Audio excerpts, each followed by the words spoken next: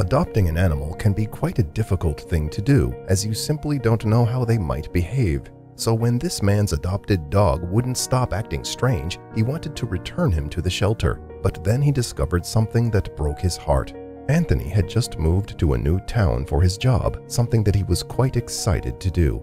He loved his work and thought that moving to fulfill his dream was an adventure worth doing. However, even though Anthony was happy with the idea of starting a new chapter of his life, he couldn't help but feel slightly lonely. This was because he knew absolutely no one in the area, leaving him without friends or family and feeling quite isolated.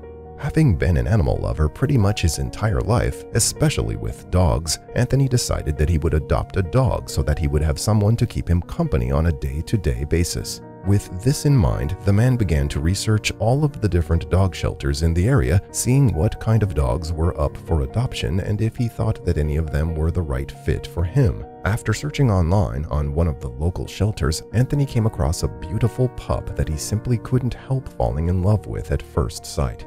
The dog was a black Labrador called Reggie, and according to the listing, the pup was all ready to be adopted and placed in his new forever home. Immediately, Anthony called the shelter to ask about the pup, only to find out to his dismay that quite a few other people had already inquired about the dog as well. However, the shelter staff told the young man that none of the other candidates had been a good fit and they were still looking for the right person to take Reggie. The staff member then told Anthony that he would be welcome to come to the shelter to see Reggie in person to see if they clicked. Not wanting to lose the opportunity to adopt the canine, Anthony quickly raced to the shelter as soon as he hung up the phone. Upon getting to the shelter, Anthony was surprised to learn that Reggie had been dropped off at the place with his very own food bowl, bed, and new tennis balls. Anthony thought that it was slightly strange for the dog to be given with these items, as it seemed to indicate that whoever had owned him still loved him and wanted the animal to be as comfortable as possible. However, instead of dwelling on this idea, Anthony soon found himself filled with joy as the shelter staff told him that they thought he would be the perfect fit for Reggie. Once all of the paperwork was signed, Anthony took Reggie back home with him, looking forward to spending time with the dog. But instead of the pup being excited about being adopted and taken to his new forever home, Reggie seemed to be the complete opposite of that. Upon arriving at the house, the dog refused to enter the home, almost as if he was rejecting the building and what it meant for him.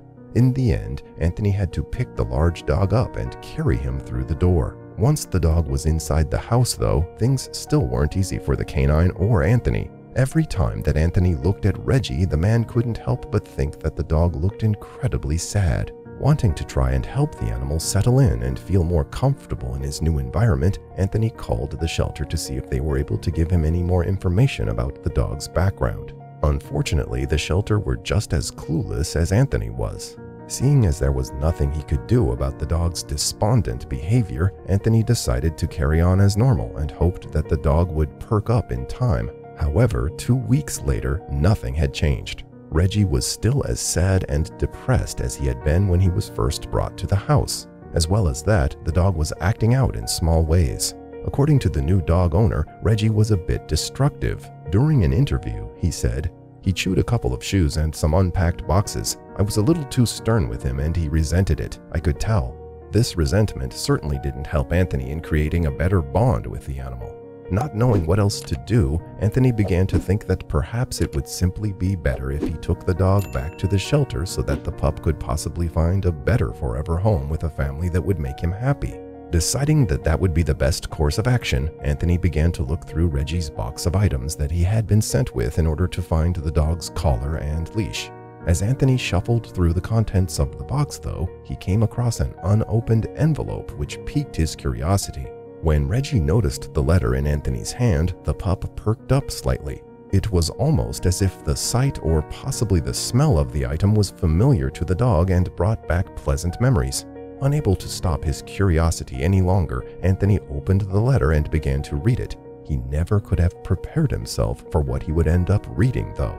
The letter began To whoever gets my dog, well, I can't say that I'm happy you're reading this, a letter I told that the shelter could only be opened by Reggie's new owner. Interested in what the previous owner had to say about Reggie, as the person clearly seemed to have loved the dog, Anthony continued to read.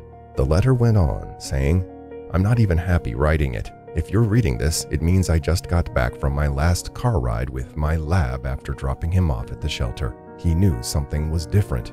It read, I have packed up his bed and toys before and set them by the back door before a trip, but this time it's like he could sense that something was wrong. Still confused but slightly dreading what might come next, Anthony continued to read the letter. He ended up learning that Reggie was a huge fan of tennis balls, fitting two inside of his mouth at times.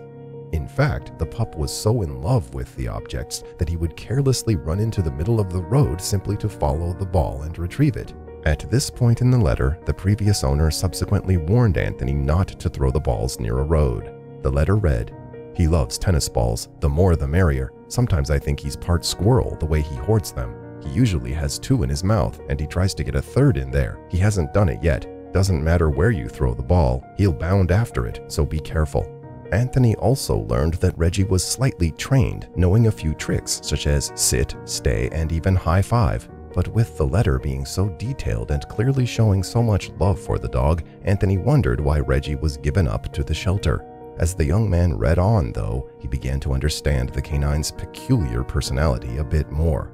The letter continued to say, Finally, be patient with him. I have never been married, so it's only been me in his whole life. He's used to going everywhere with me, so please include him on your daily car rides if you can. The letter continued, reading, He loves to be around people, especially me, which means this transition is going to be hard with him going to live with someone new. But it was the next part of the letter which broke Anthony's heart. The young man discovered that Reggie's name was actually Tank, making it much clearer why the dog never responded to his name when Anthony called him. The letter read, He's a clever dog. He'll get used to his new given name and will respond eventually. But I couldn't bear to give him his real name. For me to do that was admitting that I'd never see him again. It turned out that the dog's actual name was Tank, named after his previous owner's job, who was actually in the United States military as an M1 armor crewman who operated tanks. The owner, a man called Paul Mallory, had apparently told the army that if anything happened to him while he was on duty that he wanted them to call the local shelter and tell them to put Tank up for adoption as he wouldn't be coming home. It seemed that Mallory unfortunately was killed in action while saving some of his comrades. Thankfully, the army followed through with his final wish and told the shelter to find a loving family for the pup to go to. It wasn't until Anthony came along, though, that they were able to do that. After finishing the letter, Anthony folded it up and softly called out to Tank. Upon hearing his proper name, the dog slowly began wagging his tail. Anthony told Tank, It's me now, Tank, just you and me. Your old pal gave you to me. So what do you say we play some ball? At that moment, the dog ran away, only to return carrying a tennis ball in his mouth. It was from that moment on that Anthony knew he and Tank were going to be the best of friends. What an incredibly sweet story. There are always lots of animals looking for a second chance in life, so if you're looking for a new four legged friend, remember to adopt, don't shop. Let me know what you thought of this story in the comments below, and don't forget to like and subscribe for more incredible videos. See you next time.